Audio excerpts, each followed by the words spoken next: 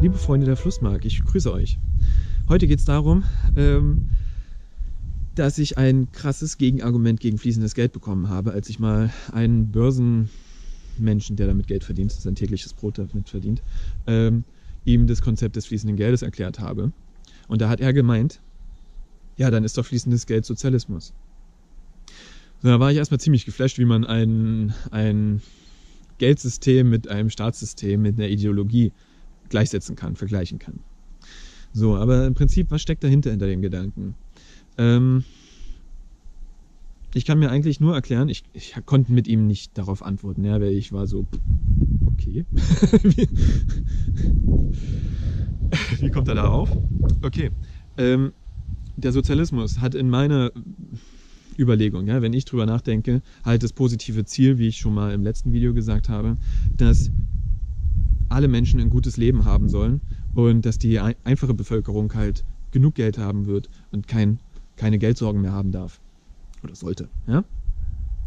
So. Und zwar kam es halt, geht es glaube ich genau darum, dass wenn die kleinen Menschen halt genug Geld haben, viel Geld haben, dass das Sozialismus wäre.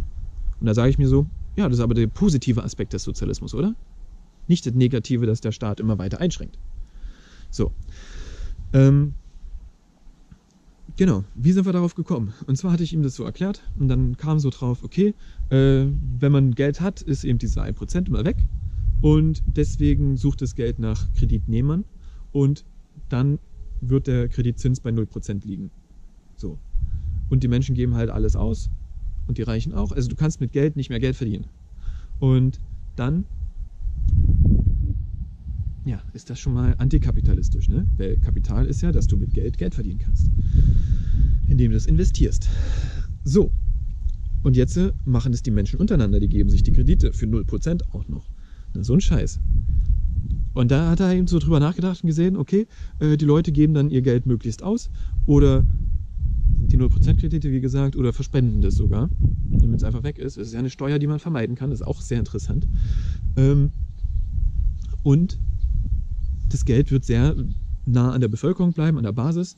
Und es wird leicht sein, es zu erarbeiten. Und ich weiß nicht. Alles ist doch gut, oder? Die persönliche Freiheit wird nicht eingeschränkt durch, durchs Geld. Es wird einfach nur gesagt, hey, komm, das Geldsystem, ja, das fließende Geld, ist nur noch zum Tauschen da. Es gibt keine Wertaufbewahrungsfunktion mehr, wie, wie es der Kapitalismus im Prinzip vorschreibt an das Geldsystem. Ja? Und über diese Wertaufbewahrungsfunktion musst du dir selber einen Kopf machen. Entweder du baust dir ein Haus, hast dadurch eine geringere Miete, ja, also fast gar keine mehr, oder du investierst in eine Solaranlage, dann ist auch alles gut. Oder du kaufst dir Gold, wenn es dir Freude macht. Ja. Der Goldpreis wird steigen, aber die anderen Preise an der, im Markt eigentlich nicht. Ja, was noch? Du kannst ein Unternehmen gründen, du kannst dich an Unternehmen beteiligen, aber wahrscheinlich wird es nicht mal genug Kreditnehmer geben, die, sind, die bereit sind, oh, ich nehme Kredit, weil ich muss irgendwas machen, ja? Und ich habe momentan das Geld nicht. Ich glaube, dass dieser Markt wird ja ziemlich leer sein. Deswegen eben auch diese 0% Kredite. Ich habe vergessen zu sagen beim Euro die, die Wertaufbewahrungsfunktion. Wie sieht die denn heute aus? Verliert nicht durch Inflation der Euro ständig seinen Wert? Ich habe irgendwie gehört, äh, dass es 50 Prozent verloren hat seit der Euro-Einführung. Nee. Nach der Euro-Einführung ist ja sofort verloren der Wert. Da war doch ähm, die D-Mark, 2 D-Mark äh, zu 1 Euro umgetauscht und kurze Zeit später haben wir die gleichen Produktpreise wieder gehabt. Nur eben ein halbes Gehalt. Nicht wahr? Also die Inflation ist krass. Die, wir verlieren immer wieder den Wert.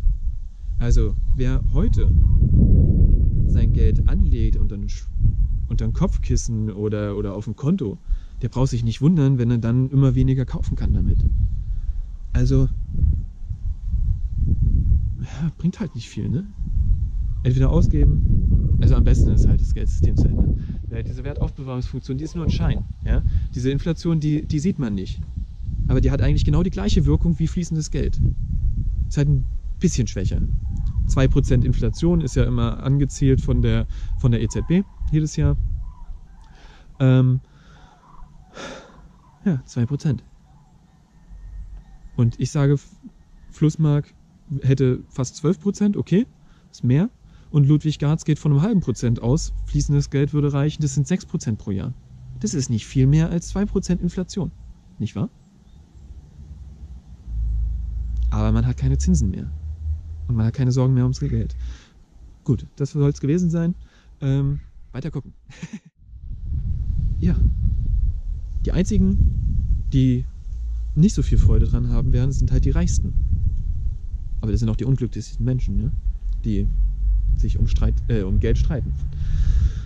David Rockefeller zum Beispiel hat ja vor 100 Jahren mit der Titanic seine Konkurrenz eingeladen und versenkt. Seine Konkurrenz wegen des Geldes. Krass, oder? ja. Also, was ist das Negative daran? Ich, ich kapiere es eigentlich nicht. Weil er hat es ja negativ gemeint. Ne? Er, ist ja, er profitiert ja vom Kapitalismus, von der Börse. Wie hat er es gemeint? Also ich sehe da keine zwangsläufige ähm, Staatsdiktatur. Wofür? Es, es fließt ja. Ganz natürlicher Prozess. Ist ja auch so wie der Apfel. Der wächst am Baum. Ja? Lass das Geld auch am Baum wachsen. Also bleiben wir erstmal beim Apfel. Der Apfel wächst einfach am Baum, neu geschöpft. Dann pflückst du ihn und lagerst ihn in den Keller ein. Dann gehst du nach einem Jahr hin und was bleibt übrig? Was wird nach einem Jahr in deinem Keller sein? Nur Matsch. Kein einziger Apfel. Aber du könntest daraus Apfelsaft machen und dann in Flaschen ablagern. Wir haben in unserem Haus, was wir für 3000 Euro gekauft hatten, vor fünf Jahren, da haben wir eine Apfelsaftflasche im Keller gefunden, die war 40 Jahre alt. Die hat wunderbar geschmeckt. Aber weißt du, du kannst nicht reich damit werden. Du kannst nicht den Apfelsaft einlagern und sagen, hm, ich möchte aber 5% wiederhaben, ne?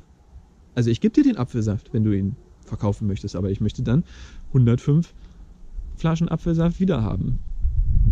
Und wenn, dann interessiert es eigentlich auch niemanden, ja. So, das ist dieses natürliche, der natürliche Kreislauf. Nichts hält für ewig. Außer Holzhäuser, die halten 500 Jahre und länger.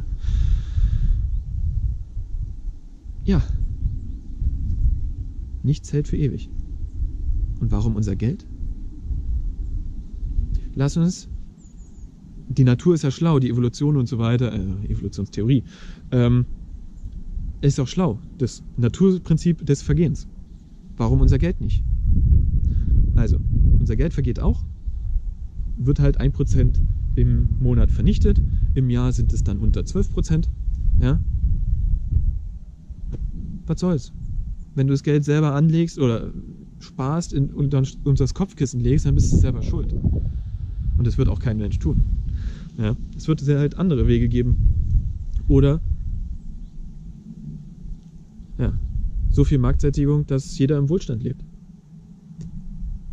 Da weiß ich nicht, warum es so schwer sein soll, äh, alte Menschen zu versorgen, unbegabte Menschen zu versorgen oder überflüssige Menschen zu versorgen oder die Kinder zu versorgen. Was ist denn daran schwer? Das bisschen, was die essen?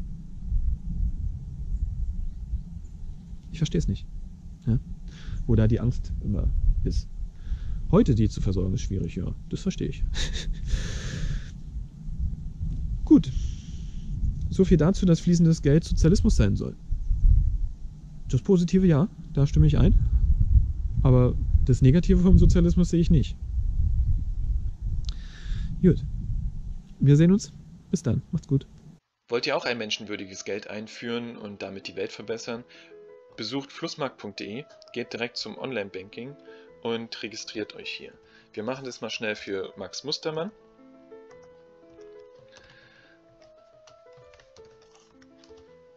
Und die Postleitzahl ist dafür da, damit wir wissen, wo die meisten Freunde der Flussmark sind. Und wenn da viele sind, dann können wir den Einzelhandel ansprechen und sagen, hey, wollt ihr auch die Flussmark akzeptieren? Dadurch wird die Welt besser. So, dann suchen wir uns ein Passwort aus und registrieren uns. So, das war erfolgreich. Jetzt äh, eröffnen wir ein neues Konto, nennen es Privatkonto und wählen hier unten Menschenkonto aus, ähm, um dann be bedingungsloses Grundeinkommen zu empfangen. So, das registrieren wir. Und da ist es. Dann gehen wir auf Überweisung und wählen ein zufälliges Konto aus. Das ist zufälligerweise auch gleich Ludwig Garz. Ähm, der ist in äh, seine Videos auf YouTube sind sehr interessant. Dann schaut euch die an. Hier wählen wir einen schönen Verwendungszweck und wünschen Ihnen ein schönes neues Jahr. Überweisen. Fertig. Das ist der Überweisungsbericht. Ähm, jetzt haben wir minus eine Flussmark.